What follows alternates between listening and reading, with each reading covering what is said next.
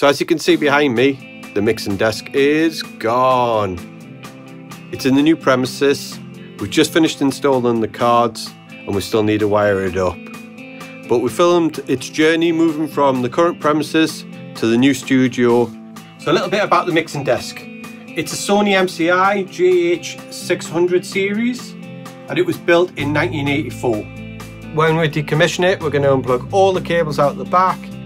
We're going to remove anything that we possibly can. So we're going to take all the channel strips out and box those up and make it as light as possible. Also to stop the frame flexing underneath.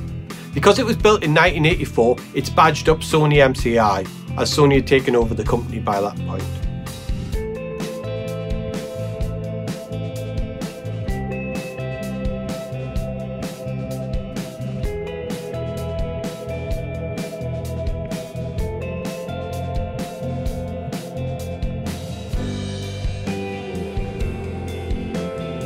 And the desk's in. The next step was to put the desk back together again.